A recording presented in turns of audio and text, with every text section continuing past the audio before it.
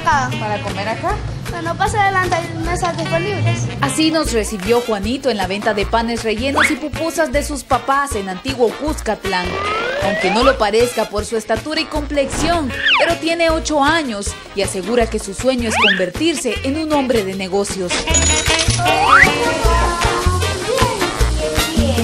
Se mantiene listo en la entrada del negocio en la calle Cuscatlán Oriente y cuando llegan los comensales los acompaña y les ofrece de memoria el menú completo. Solo las sodas. Y hay combos de lunes a jueves. Desde pequeño he estado y vi cómo mis papás trabajan. ¿Y te gusta el negocio? Sí. Anota el pedido y lo pasa a las cocineras.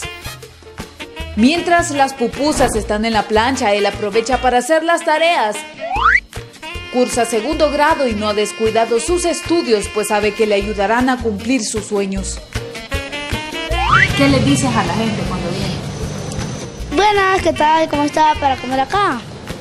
¿Y podés hacer las cuentas ya? Más o menos. Desde los seis años.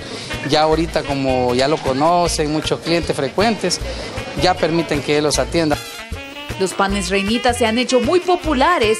Los clientes saben que Juancito siempre los estará esperando con una sonrisa. Una forma que ha de llamar la, la atención también a, la, demás, los demás clientes, que el niño ya se involucra desde pequeño en el negocio. Sin que sus padres se lo pidan, se mantiene en el lugar para dar buena atención. Para su cumpleaños, Juancito ha pedido un regalo muy peculiar. Un carro de hot dog para poner una venta de hot dog. O sea, ¿quieres que sea muy? Sí.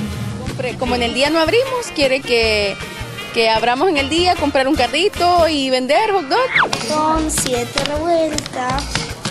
Su padre le ayuda con los números. Está aprendiendo a sumar para no cobrar ni más ni menos.